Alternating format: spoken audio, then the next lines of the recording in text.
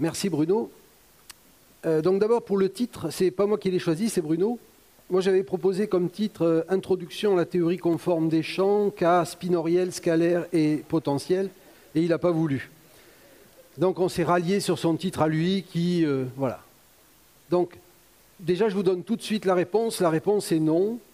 Comme ça au moins on va gagner du temps dans le, dans le marathon. la physique n'a rien vaincu du tout, et surtout pas l'incertitude. Alors, euh, l'incertitude quand même est très présente en physique et pour parler de tout ça, il faut d'abord présenter un cadre.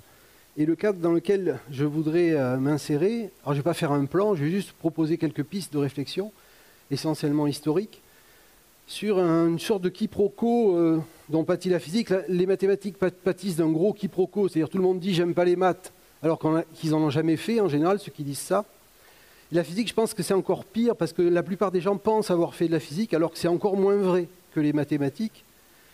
Euh, parce qu'on ramène très souvent la physique à des choses qu'elle n'est pas, et c'est souvent des expériences ou euh, des, problèmes. Voilà.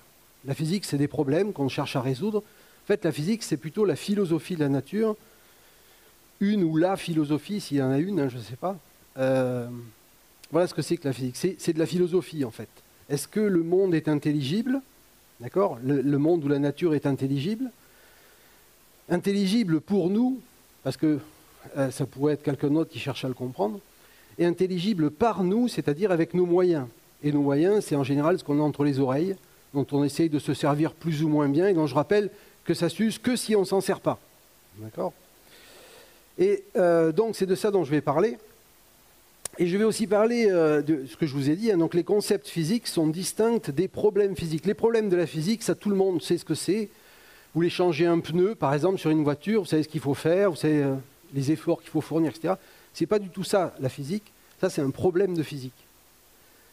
On va parler de physique, c'est-à-dire des concepts en physique. Qu'est-ce que c'est euh, qui modélise la nature? Comment il faut s'y prendre pour modéliser la nature? Et qu'est-ce qui est efficace?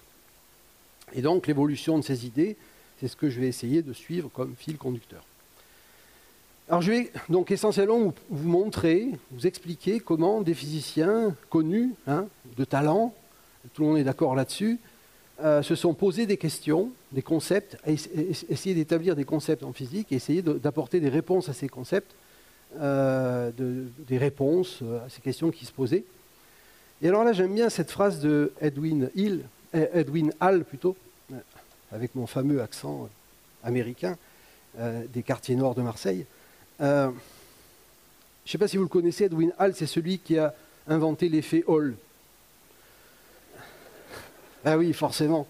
L'effet Hall, c'est un truc, vous prenez un bâton de, conducteur, vous mettez un courant électrique, et vous mettez un champ magnétique perpendiculaire à tout ça, et vous avez, avec la force de Lorentz, ça vous déviez les charges, et vous allez voir apparaître une tension aux bornes, et c'est ce qui vous permet de mesurer, par exemple, tous les appareils qui mesurent, la plupart des appareils qui mesurent les champs magnétiques euh, utilisent cet effet Hall. Donc c'est un, physicien très astucieux.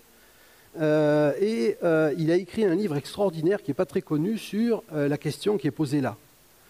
Et que je trouve très intéressante. Hein. La question c'est de savoir qu'est-ce qui se passe quand vous lâchez une masse d'une hauteur d'une centaine de mètres, 30 pieds, enfin bon, 100 pieds, donc ça fait 30 mètres. Attention aux unités anglo-saxonnes. Hein. Euh, vous lâchez une, boule d'une certaine hauteur, est-ce qu'elle va dévier vers le sud, vers l'est, vers l'ouest, etc.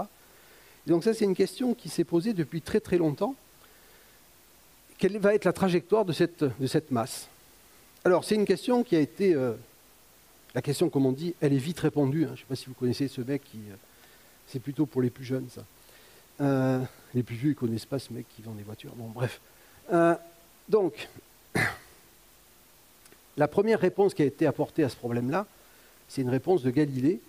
Et vous lâchez un objet, euh, une certaine hauteur sur la Terre, euh, et la trajectoire que va avoir cet objet. Alors vous supposez que la Terre est homogène, d'accord Et que l'objet va pouvoir pénétrer la Terre comme s'il va juste changer euh, de, propagation. Il ne va plus être dans le vide, il va être dans un milieu homogène. Mais il ne va pas y avoir d'autres influences, pas de frottement. C'est pour ça Ce n'est pas du tout un problème de physique, c'est un concept.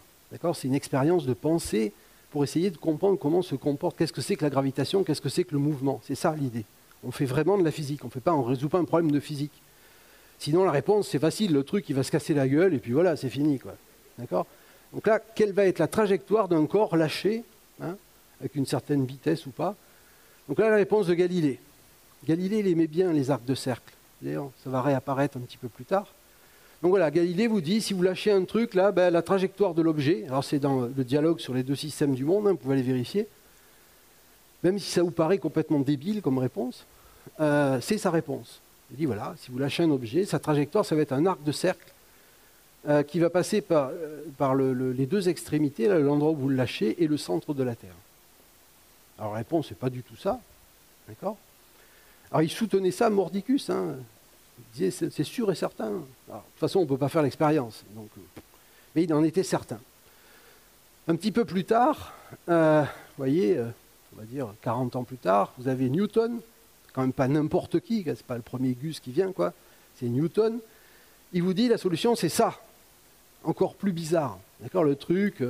D'abord, vous voyez, c'est pas du tout la même tangente, ça tombe et puis ça va spiraler vers le centre. N'importe quoi. N'importe quoi. C'est pas du tout ça. Troisième, euh, troisième idée, c'était un débat d'idées, hein. les gens ils disaient ceci, oui, mais pourquoi? Bon, ils buvaient un peu du whisky pour que ça soit plus actif, le débat. Euh, le principal contradicteur de Newton, c'était Hooke. D'ailleurs, Newton appelait euh, Hooke ce, vilain nain, parce qu'il devait être petit. donc voilà ce que dit Newton, voilà ce que dit Hooke. Alors déjà là, on est plus, on voit que Hooke a lu, a lu les, travaux des gens qui étaient avant vous voyez apparaître ici une ellipse. Et vous voyez que cette ellipse, elle a un de ses foyers qui est occupé par la Terre. Donc on voit que Hooke a lu euh, Kepler qui dit, c'est la deuxième loi de Kepler, hein, quand vous avez un mouvement gravitationnel, la trajectoire est plane, euh, c'est une ellipse, d'accord Et le centre, c'est le foyer, enfin le centre, centre attracteur, c'est le, foyer, d'accord Donc Hooke essaye de s'adapter, etc. Mais il n'y a pas de calcul, il n'y a pas vraiment de justification. Il y en a un petit peu, mais ce n'est pas très. Mais ce n'est toujours pas la bonne réponse. Alors qui connaît la bonne réponse? Vous, vous pouvez rendre des copies à la fin, je vais noter ça. La bonne réponse, c'est ça. C'est une ellipse, mais vous voyez que le, centre de l'ellipse, c'est aussi le centre de la Terre. D'accord? En fait, il y a trois ellipses là. Il y en a une au-dessous qui est la même, celle qui est en, dehors, c'est la même. Celle qui est dedans, ben, elle est centrée sur le centre de la Terre, et celle qui est dessous, ben, c'est la symétrique par rapport au centre de la Terre. Voilà la bonne réponse. Et voilà comment, alors chacun était bien sûr certain euh, de cette affirmation. Il disait, mais non, c'est comme ça, c'est pas autrement, il y a des... Vous voyez que là, on a Newton avant son œuvre principale, que je vais vous montrer tout de suite, les Principia. D'accord? Les Principia, c'est ça, c'est le livre, c'est le premier livre de physique. Hein. Je ne remonte pas au grec, tout ça, parce que la physique, on peut, on peut, on peut la faire remonter au grec, on peut même la faire remonter à Galilée, c'est vrai, vient de dire que Galilée a inventé une partie de, la physique, c'est vrai. Mais vraiment, la physique commence avec Newton, parce qu'avec Newton, on vous dit. Alors, Newton, Galilée, vous l'avez déjà dit, on l'a déjà entendu, cette citation, le livre de la physique est écrit avec des triangles, avec des mathématiques. Mais les premières formules avec des triangles, avec des mathématiques, ben, c'est dans ce livre de, Newton, les Principia. Et euh, vous avez tout dans ce livre pour résoudre et pour montrer que la vraie réponse, c'est celle, c'est la dernière proposée par Newton dans la deuxième partie de sa vie. Euh, et à partir de là, bah, vous, avez, vous commencez à avoir des certitudes. Les, gens euh, commencent à... Alors, les gens, c'est essentiellement Newton, parce que personne ne comprend rien à ses travaux. Hein. Euh, on va commencer à comprendre ce que dit Newton quand on va décoder, parce que ce qui est écrit là-dedans, c'est essentiellement écrit avec, de, comme, le disait Galilée, avec de la géométrie, et de la géométrie très particulière, enfin bon, c'est quasiment illisible. Par contre, il y a tout un tas de choses qui sont très intéressantes. On définit des notions physiques, le temps, l'espace, la masse, la position, la vitesse, et tout ça, la force. Ça va définir un contexte dans lequel on va pouvoir être certain ou pas de certaines choses. On va pouvoir construire des modèles basés sur ces concepts. Et si ces modèles, si on accepte ces modèles, il va y avoir un raisonnement mathématique, et là, à partir du moment où on fait des maths, on est certain du résultat. Le problème, c'est que le contexte dans lequel on va se placer pour résoudre les problèmes de la physique qu'on veut résoudre, on ne peut peut-être pas être en accord avec ce qui est proposé par la nature. Donc la physique euh, est certaine de certaines choses dans, un contexte, euh, mais on n'est jamais certain que le contexte dans lequel on se place correspond à ce, que nous donne la nature. Donc ce livre est très très intéressant, mais il ne faut pas oublier que la méthode qui est proposée, hein, j'en parlerai un tout petit peu dans le, dans film noir euh, sur Lagrange, pour vous montrer comment Newton a pu obtenir certains de ses résultats, euh, vous allez voir qu'il faut quelqu'un comme Newton pour pouvoir obtenir ces résultats avec ces méthodes-là. Euh, celui qui va vraiment comprendre tout ça, euh, c'est mon idole, hein, après Aya Nakamura, c'est Joseph Louis Lagrange. Alors, à partir de ce moment-là, à partir du moment où on avait des outils, des méthodes, on commence à se poser des questions de plus en plus compliquées. Deuxième question plus compliquée qu'on va se poser, je ne sais pas si vous la connaissez, c'est le problème de la courbe brachistochrone pas être enrhumé pour parler de ça. Donc la question est la suivante. Vous mettez une, boule à une certaine hauteur h et vous la faites dévaler le long d'une rigole sans frottement. Hein, c'est un problème euh, toujours de pensée. Comment choisir la rigole hein, Soit vous mettez une planche, soit vous mettez un truc en forme d'arc de cercle, soit vous mettez un truc qui descend très vite puis qui, va plus plat ici. Vous êtes obligé de rejoindre de rejoindre ces deux points. vous pouvez même descendre plus bas hein, et puis remonter ensuite. La question c'est quelle est la forme de la rigole qui permet d'atteindre le point qui est ici le plus rapidement possible? Rapidement, c'est le temps. D'accord? Donc ça, c'est une question qui est posée euh, à l'époque de Galilée. Galilée, vous y répond. Hein. Toujours euh, dans euh, le discours sur les deux sciences nouvelles. Euh, et donc, encore une fois, hein, il aimait bien les arcs de cercle. Pour lui, pour Galilée, c'est un arc de cercle. Donc, ça correspond à peu près. Euh, c'est un arc de cercle. Je ne pense pas que ce soit un arc de cercle. Donc, euh, l'équation, un, arc de cercle. Voilà la réponse de Galilée. Alors, est-ce que vous connaissez la réponse? En général, oui.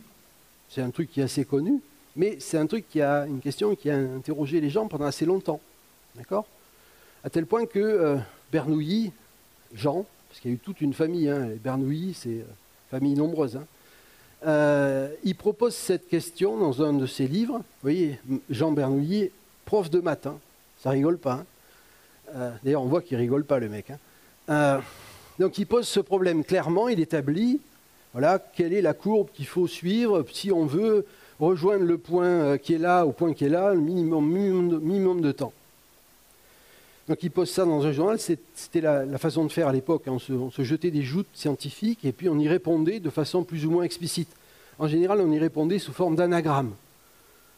Comme ça, si on ne comprenait pas l'anagramme, en plus on pouvait se foutre de la gueule des gens, vous n'avez rien compris à ce que je dis. bref. Un certain nombre de gens répondent à la question, l'hôpital, règle de l'hôpital pour ceux qui connaissent les dérivés. Alors c'est plus au programme, mais bon. Euh, Leibniz, le frère de, Jacques. Il y a eu un débat. Son frère Jacques, agent plutôt, ainsi qu'un un, auteur qui ne donne pas son nom. Il dit voilà, je m'appelle Monsieur Duchnock, mais en fait c'est un, pseudonyme. Et Bernoulli reconnaît euh, l'auteur de cette réponse au style de la réponse. La réponse est brillante, il donne la réponse de façon très claire et très géométrique. Et donc, c'est, donc il écrit euh, tanquaum. Moi non plus, j'ai pas fait, euh, j'ai pas fait latin, ni grec, ni rien. Le collège où j'étais, c'était la misère. Tanquae ex ungue leonem, ça veut dire on reconnaît le lion à sa griffe. Il a reconnu Newton. En fait, c'est Newton qui, Newton, il avait marre d'expliquer tout ça, et donc il, envoie la réponse, et en fait, c'était la bonne réponse. Et la bonne réponse, c'est la, la cycloïde. Alors c'est quoi une cycloïde? Ça c'est très facile, prenez une roue de vélo, vous attachez une lampe et vous la faites tourner, vous obtenez, vous voyez la, roue qui tourne, la lampe va tourner comme ça. Cette courbe-là, c'est ce qu'on appelle une cycloïde. Elle a tout un tas de propriétés euh, très intéressantes mathématiquement. Et elle a la propriété d'être la courbe brachistochrone, c'est-à-dire celle qui permet d'avoir le temps minimal. Alors, je vous le montre, ça c'est un film qui a été fait par le PFL à Lausanne. Vous voyez, si vous lâchez trois billes du même point, c'est en, mouvement euh, ralenti, hein, sur les trois, les trois gouttières, vous voyez que c'est la rouge qui gagne. On pourrait penser que là, elle va descendre très très vite, mais non, c'est la rouge qui gagne à la fin. Et parmi toutes les courbes que vous pouvez dessiner, hein, euh, on peut démontrer que la plus rapide, c'est euh, la, euh, ben, la cycloïde. Alors ça, ça va être une grande avancée, hein. c'est un problème qui va inspirer vraiment les physiciens et qui va durablement influencer la physique. Alors on va s'apercevoir dans certains problèmes de physique, notamment autour de Huygens, que cette courbe a aussi une propriété étonnante, c'est que quelle que soit la hauteur de départ de la courbe, eh bien, toutes les billes arrivent en bas en même temps. C'est-à-dire qu'en fait, toutes les, si, vous, faites un pendule avec ça, si vous faites osciller dans, le rail, ben, toutes, les, billes, si elles ne se, cognent pas, on suppose qu'elles c'est des points matériels, c'est un problème abstrait, euh, toutes les billes ont la même période. Donc c'est aussi, aussi, ce qu'on appelle une courbe tautochrone, d'accord, ou isochrone. Toutes les périodes de toutes les particules, quelle que soit la hauteur de laquelle vous le lâchez, ont la même période. Donc il y a quelque chose à comprendre là-dedans. Et celui qui va apporter la réponse, qui va comprendre comment il faut formuler ce problème et pourquoi il est important, eh ben, c'est mon idole, Joseph Louis Lagrange, d'accord euh, En 1750 à peu près. Et en fait, il va montrer que cette courbe-là correspond à un problème d'extrémum. En fait, on va remplacer hein, les équations de la physique, hein, comment trouver l'équation horaire d'une telle trajectoire, ou comment trouver ce problème, résoudre ce problème de façon générique, mais en fait, il faut résoudre un problème d'extrémum. Ça veut dire quoi? Ça veut dire qu'il faut faire un calcul de variation. Il faut calculer tous les chemins possibles qu'on peut suivre et euh, regarder celui qui, dans un certain sens, a des propriétés extrêmes. Alors, je vous explique un petit peu comment il fait, sans rentrer dans les détails. Euh, c'est assez simple à comprendre. Les calculs sont plus compliqués, on ne va pas faire de calculs, mais juste vous expliquer un petit peu comment ça marche. Hein. En fait, euh, si vous êtes en haut, vous disposez d'une certaine énergie. C'est quoi une énergie en physique? Ben, c'est quelque chose, c'est quelque chose qui vous procure la capacité de changer d'état. Alors quand vous êtes en haut, cet état, c'est je suis en haut. Et l'état, ben, c'est je suis en bas. D'accord? Pour changer d'état, il vous faut de l'énergie. Alors ici, on dit que vous avez de l'énergie potentielle, d'accord, quand vous êtes en haut. Et quand vous êtes en bas, on dit que vous avez de l'énergie cinétique. Et donc, on peut transformer de l'énergie potentielle en énergie cinétique. L'énergie potentielle, c'est une énergie qui dépend essentiellement de la position où vous vous trouvez. Et l'énergie cinétique, c'est l'énergie qui dépend de la vitesse que vous avez. On pourrait mettre des formules, hein. je pourrais vous dire que l'énergie potentielle, c'est la masse fois la hauteur fois le g, et que l'énergie cinétique, c'est un demi de la masse fois la vitesse au carré, mais ça n'a pas d'importance. D'accord? Euh, ce qui est important de nous comprendre, c'est que cette énergie, hein, une fois que vous l'avez, ben, vous pouvez la transformer en autre type d'énergie, mais vous avez toujours la même quantité d'énergie. S'il n'y a pas de frottement, s'il n'y a pas de dissipation, c'est un problème abstrait, d'accord? Euh, Un problème idéalisé. Et donc, le mouvement transforme la nature de l'énergie, va transformer de l'énergie cinétique en énergie potentielle et réciproquement. Et le mouvement qui va se produire en physique, c'est le mouvement qui va correspondre au minimum de l'écart entre la différence entre les deux. Au début, vous avez beaucoup d'énergie potentielle et pas d'énergie cinétique, puisque vous êtes à l'arrêt. À la fin, vous avez très peu d'énergie potentielle, parce que vous êtes descendu. Et vous avez beaucoup d'énergie cinétique parce que vous avez la vitesse maximale. Hein. On imagine que si vous remontez, vous allez retrouver dans l'état symétrique plus loin. Et Lagrange va comprendre qu'en fait, le mouvement, c'est la chose qui, c'est la trajectoire qui consiste à minimiser la différence entre ces deux énergies sommées sur tous les intervalles de temps. Alors j'ai mis une intégrale parce que j'adore ça, hein, j'en rêve la nuit, enfin j'ai un rapport euh, mystique hein, avec les intégrales, mais bon. Euh, peu importe, on s'en fout de cette équation. Ce qui est important, c'est que ce qu'il a fait apparaître, Lagrange, dans ce truc-là, c'est un Lagrangien. C'est-à-dire une quantité qui va permettre de synthétiser tout un tas de choses qui sont super importantes pour les physiciens. Et à partir du moment où Lagrange a proposé cette façon de voir les problèmes de physique, c'est-à-dire à remplacer les problèmes de physique qu'on se pose habituellement en faisant apparaître des forces, enfin des trucs très très compliqués, fait simplement apparaître une quantité qui s'appelle un Lagrangien, qui, ici, qui dans ce cas-là est assez simple, d'accord? Eh bien, et de chercher le minimum de la somme de ces petits Lagrangiens, euh, ben ça, ça va complètement changer la façon de voir la physique. Et ça, c'est une chose dont on est à peu près certain dans un certain contexte, depuis cette histoire. Et c'est des choses qui ne sont pas tellement enseignées en plus. Hein. On enseigne souvent la physique. Si vous avez une idée de la physique, vous allez tout de suite passer dans ce, ce problème des forces, des, c'est une très très mauvaise idée de, traiter ce problème avec des forces. Bref.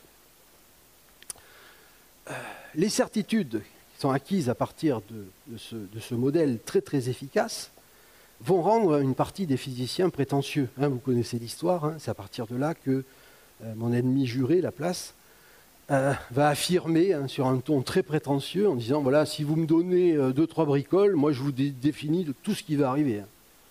Faites-moi confiance, vous allez voir, ça va bien se passer. D'accord? C'est la phrase très célèbre une intelligence qui, à un instant donné, connaîtrait toutes les forces, c'est-à-dire le Lagrangien, euh, dont la nature est animée, euh, la situation inspective de tous les trucs, eh ben, à ce moment-là, tout il n'y a plus aucune incertitude. On sait tout. Point barre. Ça, c'est typiquement un raisonnement laplacien. C'est un mec, bon, je ne vais pas rentrer dans les détails parce que sinon je vais devenir vulgaire, méchant et tout ça. Mais c'est un mec, vous voyez, quand il se fait, il se fait prendre en photo, euh, c'est bon, bref. Autre type de certitude dont on fait preuve à l'époque, on est à l'époque, euh, c'est le déterminisme, d'accord C'est le positivisme. Il y a tout un tas de courants comme ça philosophiques qui apparaissent. Et un autre cas, euh, vous avez des mecs comme Auguste Comte qui vous font ce genre d'affirmation. Il en est sûr et certain. Hein Écoutez les gars, euh, ça suffit. Il y a un truc, maintenant on en est sûr. Hein tout ce qui concerne les étoiles, on ne pourra jamais aller étudier par aucun moyen possible la composition chimique, la structure minéralogique, hein, euh, ou la, nature des corps organisés qui visent à la surface des étoiles. Il ne faut quand même pas déconner. Ça, on en est certain, et puis vous fermez vos gueules. D'accord? Vous voyez, dans l'état où on en est quand on croit trop à certains modèles, alors peut-être qu'ils pensaient que c'était un peu impossible d'être dans cet état, peut-être qu'ils poussaient le trait un peu loin, mais ils y croyaient vraiment. Et puis patatras, hein, j'ai déjà entendu ça ce matin, patatras, un petit peu plus tard, il y a un autre mec qui arrive qui est vraiment incroyable et qui va proposer des choses qui vont faire que tout va changer. Alors déjà, pour bien fermer euh, sa, bouche, là, pour rester calme, à la place, je vais vous montrer une expérience qu'on peut faire qui est très simple. Prenez deux étoiles, d'accord? L'étoile 1, le Soleil.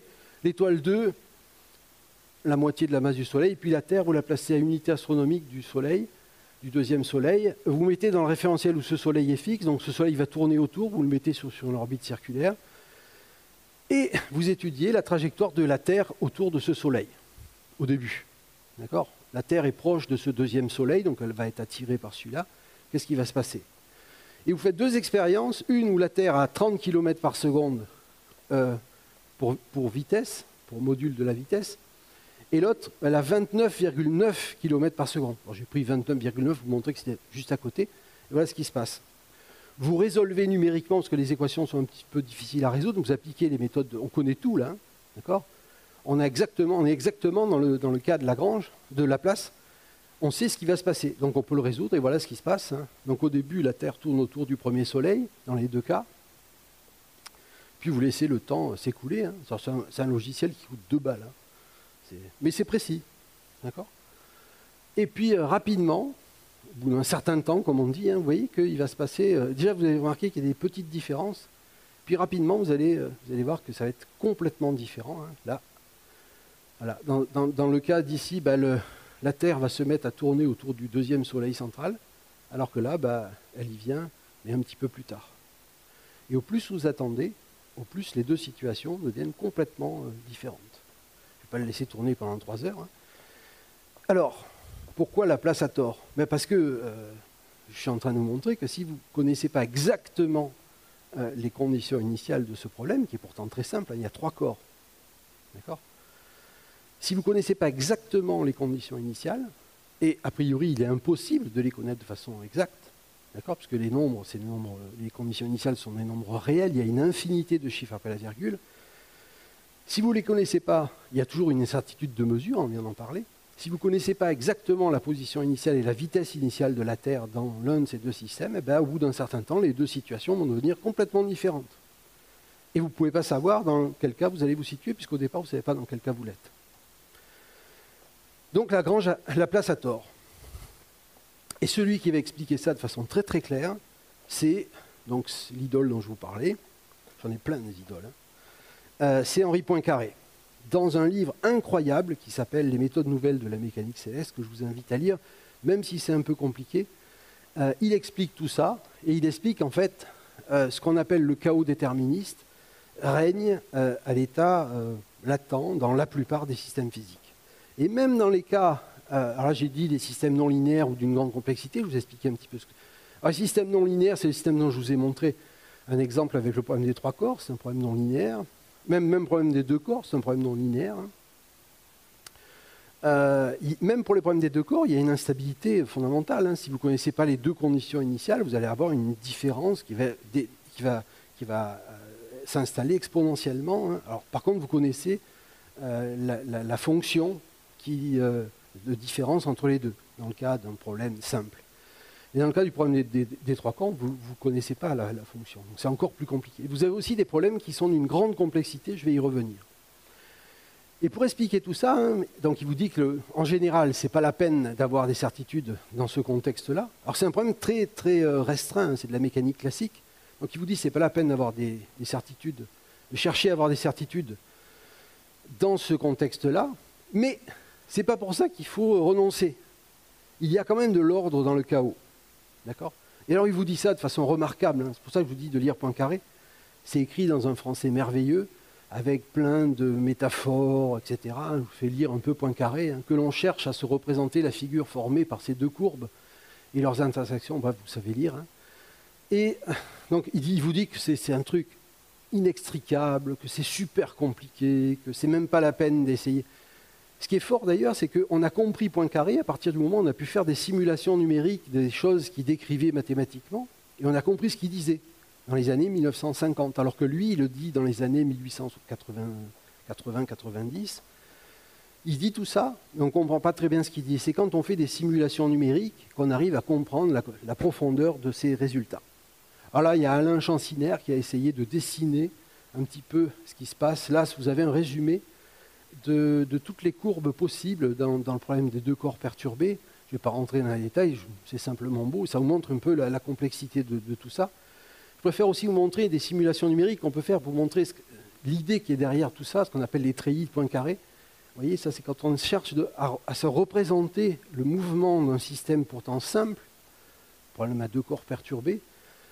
Euh, on se met dans un certain espace de représentation, je ne vais pas rentrer dans les détails, et quand on zoome à l'intérieur de ce système, on aperçoit qu'il y a des structures qui apparaissent à tous les étages, de plus en plus compliquées, mais avec certaines régularités, certaines choses qu'on peut comprendre, et ce que vous explique Poincaré, c'est qu'on ne peut pas avoir de certitude globale, mais on peut avoir des idées générales assez précises de ce qui va se passer.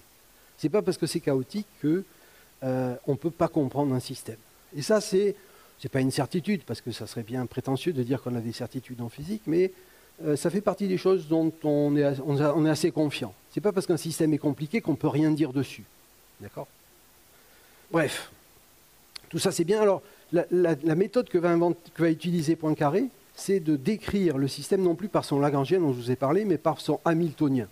Bon, c'est juste un mot. Hein. Hamiltonien, dont je vous rappelle qu'on n'aurait pas dû l'appeler comme ça, ça je vous expliquerai ça dans le film noir, preuve à l'appui. Euh, et donc on peut décrire de façon très euh, qualitative, il ne faut plus chercher à le décrire de façon quantitative, mais on peut décrire de façon qualitative, mais précise quand même, euh, plein de systèmes physiques et plein de, modèles, de classes de problèmes physiques. Et, ça, c'est une nouveauté. Alors, la complexité algorithmique, ça, c'est l'apparition de la physique statistique. Je vous montre un exemple de ce que ça peut représenter. Vous prenez un, deux billards sur lesquels vous disposez des billes, d'accord?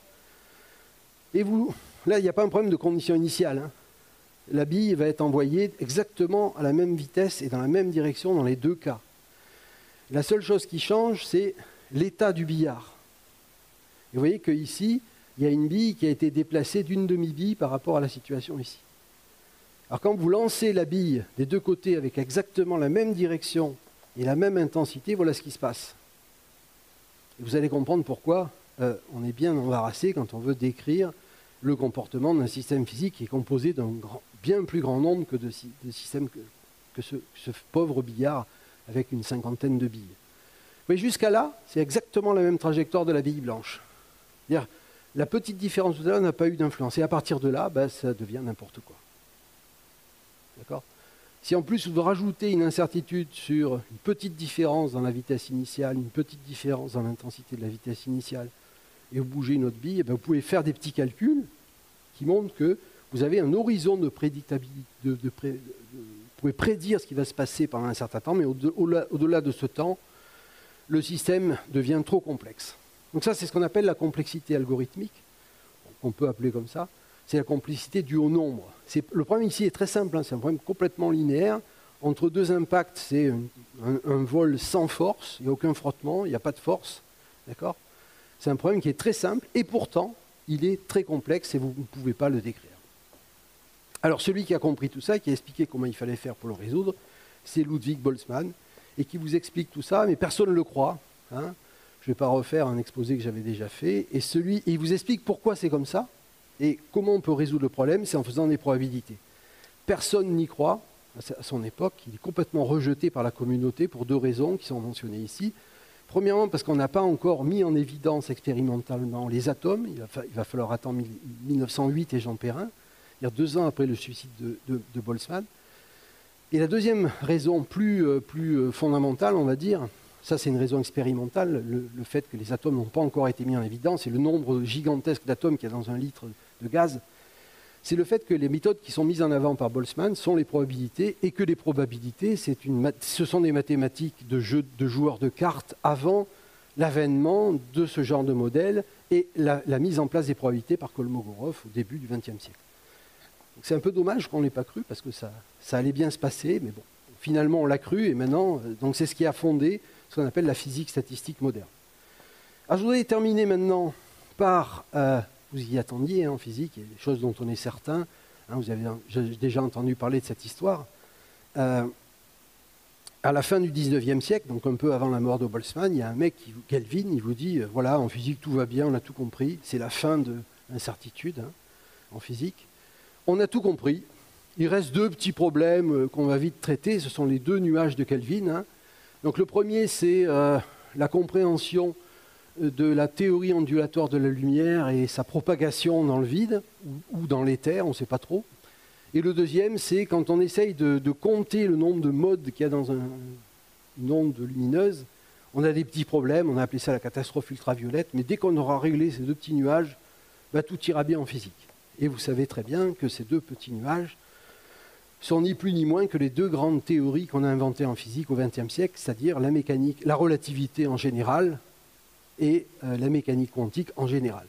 D'accord? Alors je vous explique un tout petit peu comment on a résolu ces problèmes, sans rentrer dans les détails. Le premier nuage, donc comprendre la propagation de la lumière, ben, pour, dissiper ce nuage, ben, il faut simplement euh, supposer que l'éther n'existe pas. Euh, il n'y a pas de milieu de propagation pour la lumière, c'est le vide, et que les équations de la physique s'écrivent de la même façon dans tous les référentiels. Et c'est ça qui a donné l'idée à Minkowski de reprendre les idées de, de Lagrange et de chercher à écrire ces équations de la physique de la même façon dans tous les référentiels sous forme de principe de maximum, principe d'extrémum, on dit principe de moindre action. Alors ça a été une grande, un grand tour de force réalisé par Minkowski en 1908, euh, qui est mort d'ailleurs juste avant d'avoir fini d'une crise d'appendicite. Hein. J'aurais bien aimé savoir ce qui se serait passé si, si, euh, Minkowski n'avait pas eu cette crise-là, parce que c'était vraiment chaud, hein, chaud patate. Et donc, il le Lagrangien, je vous l'écris parce qu'il me fait rêver, ce Lagrangien. Euh, donc, on, va, dire que l'univers en physique est rempli à cette époque-là de choses qu'on appelle des champs, duquel vont dériver les forces, de particules. Hein, vous savez ce que c'est qu'une particule Un électron, un proton, des choses plus, compliquées, une boule de billard. Et puis les interactions entre ces champs et ces particules. Et donc, euh, Minkowski invente une façon de décrire la physique basée sur la prise en compte de ces trois parties-là. Alors, le deuxième nuage va être dissipé. Euh, alors, on va comprendre que ce n'est pas la solution ultime pour dissiper ce nuage. Pour le dissiper réellement, il va falloir faire intervenir Einstein réellement. Il est déjà intervenu en partie, en grande partie, euh, pour la relativité restreinte, mais ce n'est pas ce dont je vous parlais juste avant en fait, c'est la relativité générale, et donc on va comprendre que euh, l'espace dans lequel on se, propage, on va chercher à minimiser cette action, a des propriétés, et que ces, propriétés doivent être décrites par un Lagrangien. Et tout ça, c'est merveilleusement expliqué dans un livre hein, qui a un titre qui n'est pas du tout celui auquel on croit, qui s'appelle Théorie des champs. pour dissiper le second nuage, parfait, pour dissiper le second nuage, qui est celui de la mécanique quantique, on va faire exactement de la même façon, on vous dit souvent que la mécanique quantique, c'est quelque chose de complètement différent, il faut jeter la physique à la poubelle et tout ça. Ça, c'est quand vous le voyez d'une certaine manière. Mais quand vous voyez dans le formalisme variationnel, en fait, ça change strictement rien. Vous avez toujours pareil, des particules, des champs, des interactions, et vous avez toujours un Lagrangien. Et euh, ce qui va changer, c'est la nature microscopique de ces, de ces objets. D'accord? En mécanique classique, c'était continu et déterministe. En mécanique quantique, ça va être discret et probabiliste. Mais les propriétés mathématiques qui vont décrire ces objets-là sont strictement les mêmes. Et les méthodes que vous allez utiliser pour obtenir des équations en physique, des modèles physiques, vont être strictement les mêmes. Donc il n'y a absolument aucune euh, nouveauté, hein, c'est la même chose. Et celui qui va expliquer tout ça, c'est Dirac, qui en fait il va transformer le H de la mécanique classique avec un petit chapeau, ça va devenir un opérateur, mais toutes les autres équations vont être strictement identiques. Alors ça, ça va donner plein d'idées à plein de physiciens, c'est toute la physique du XXe siècle, et ça va aboutir dans les années 1980 à une des plus grandes constructions hein, qu'on peut imaginer euh, dans ce domaine, euh, qui est synthétisée par un, t-shirt que vous pouvez vous procurer sur Internet pour un coût dérisoire. Et vous pouvez promener dans la rue avec le Lagrangien du modèle standard, hein, c'est toujours la classe. Par contre, euh, si on vous pose des questions, moi, dès que je vois quelqu'un avec un, t-shirt comme ça, je l'arrête, je dis hop, hop, hop, hop. D'accord Et je voudrais un petit peu d'explication. En général, ça se passe assez mal. Il ne faut pas frimer euh, de façon... Euh, bon, bref, vous avez ici euh, la description du modèle assez standard auquel on croit pour décrire la physique. Alors ça a conduit à la mise en œuvre expérimentale et théorique de tout un tas de théories qui ont pu être confirmées à un niveau de... Enfin, c'est absolument incroyable. Je ne dis pas qu'on est certain que c'est ça, mais ça marche bien. En tout cas, c'est très effectif. Et puis, euh, on, a, donc dans les deux domaines, hein, que ce soit en relativité générale ou en mécanique quantique, on a deux modèles qui marchent plutôt bien. Euh, on essaye de les unifier, mais c'est difficile. Et voilà, à défaut d'en être certain, voilà ce, à quoi l'on croit. Donc, l'univers serait euh, quelque chose qui est plus ou moins défini, qui est caractérisé par un champ. ces champs sont en interaction entre eux. Certaines excitations de ces champs, ben, c'est ce qu'on appelle des particules ces particules interagissent avec le champ et interagissent entre elles. D'accord euh, Et tout ça, c'est modélisé par des Lagrangiens et des principes d'interaction. Alors, je vous ai dit, je vous ai parlé de champ, etc., mais c'est quelque chose d'assez compliqué, voire même de très compliqué, mais je vous montrer qu'en fait, on peut l'idéaliser de façon très simple. Qu'est-ce que c'est qu'un champ? Ben, Un champ, c'est ça. D'accord euh, Un champ de blé, c'est un champ de vecteurs. C'est visible, d'accord? Un champ de vecteurs. Et ça peut être en interaction avec un autre champ qui s'appelle le vent, qui est un champ scalaire, qui a une intensité, une vitesse en chaque point. D'accord? Et l'interaction entre un champ scalaire et un champ vecteur, ça vous donne des ondes. Vous les voyez? Vous les voyez? Pourtant, vous ne voyez pas le champ scalaire représenté par le vent. alors, il y a plein de gens qui disent oui, euh, la matière noire, c'est des trucs. Qu'est-ce que c'est que ces conneries? Mais là, on y croit. Et on le voit. On pourrait très bien dire que le, vent, c'est de la matière noire. On ne le voit pas. Et pourtant, ça a une interaction avec le champ scalaire, le champ vectoriel représenté par le, champ de blé, et ça se manifeste par des ondes. Qu'est-ce que c'est qu'une particule? Bah, Facile. Une particule, c'est par exemple une vague. D'accord? Une vague, c'est une excitation du champ de vitesse dans un fluide. Alors c'est une vague, hein. c'est une particule un peu particulière qu'on appelle le son du temps, mais vous voyez que là vous avez des particules qui interagissent. Vous les voyez interagir Elles se croisent et pourtant elles continuent. Ça, c'est exactement ce qu'on appelle une particule en théorie quantique des champs. Et l'interaction entre les deux, la traînée qui a après, tout ça, c'est exactement voilà, comment on décrit la physique euh, dans le contexte de ces formalismes variationnels. C'est très très efficace, c'est très effectif, ça décrit bien la nature. Il y a plein de problèmes, hein, les problèmes de la quantité euh, phénoménale. J'ai fait une petite liste ici. Hein. Il reste de nombreux nuages, hein, je ne vais pas les lister les uns après les autres, vous avez déjà entendu parler. Euh, mais euh, c'est quelque chose qui euh, est assez effectif. Alors ces théories, on, est allé plus loin, vous avez déjà entendu parler de la théorie des corps, de tout un tas de, théories quantiques à boucle, etc. Est-ce qu'elles décrivent vraiment la nature? On n'en sait rien, parce qu'on n'a pas fait d'expériences qui peuvent contredire ou infirmer ceci ou cela. On a vraiment un problème en physique hein, en ce moment. C'est un des problèmes de la physique actuelle. Et un autre problème de la physique actuelle, c'est une crise de la formation des jeunes, hein, parce que c'est vraiment un vrai problème. Il n'y a plus personne qui est intéressé par la physique dans notre société moderne. À l'école, ça n'intéresse plus personne. Et puis, euh, les vieux physiciens qui l'ont appris à l'école, bah, eux, ils sont devenus des spécialistes qui euh, souvent se méprisent ou se parlent assez peu. et ils sont devenus des spécialistes dans leur coin, ils ne cherchent plus à comprendre ce qui se passe autour d'eux, donc on a un vrai problème. Il y a quelques années, quelques dizaines d'années, voire un siècle, à l'époque de Poincaré, euh, c'était vraiment quelque chose de, serré, d'unifié. On arrivait à comprendre et on se respectait, on discutait. Maintenant, c'est vraiment quelque chose. Vous êtes dans un laboratoire de, mathématiques appliquées, euh, les gens sont spécialistes de leur domaine, ils ne parlent pas au mec du bureau d'à côté qui fait quelque chose de complètement autre chose. C'est vraiment un problème. Mais j'ai quand même confiance parce qu'on va être confronté, euh, si on s'en donne la peine, ce qui n'est pas certain, mais moi j'y crois, à de nombreux problèmes physiques qui vont mobiliser des armées de physiciens.